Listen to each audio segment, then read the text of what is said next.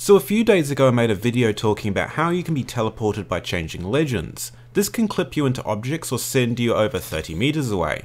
However, it turns out this target on the top of the firing range can send you into the back rooms. If you change legends just as you mantle over the top, this happens. Since you're actually falling, changing legends won't teleport you anymore and picking Valk lets you fly around. If you look around you'll be able to find this one object in the void. It turns out you can fly all the way over to it if you keep switching legends to refresh the jetpack, although it takes quite a long time. Getting closer shows it's the skybox and you can drop down onto it since it seems to be surrounded by an invisible barrier. Honestly, it's pretty cool being able to glitch out of bounds to see the skybox this easily.